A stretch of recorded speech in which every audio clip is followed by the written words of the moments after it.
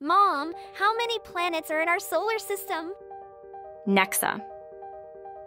In our solar system, we have a family of eight unique planets, each orbiting or traveling around the Sun in their own special path.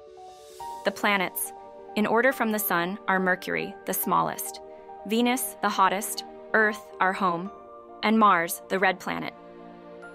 Further out, we find the giant gas planets Jupiter, the largest, Saturn, famous for its beautiful rings, Uranus, which spins on its side, and Neptune, known for its deep blue color.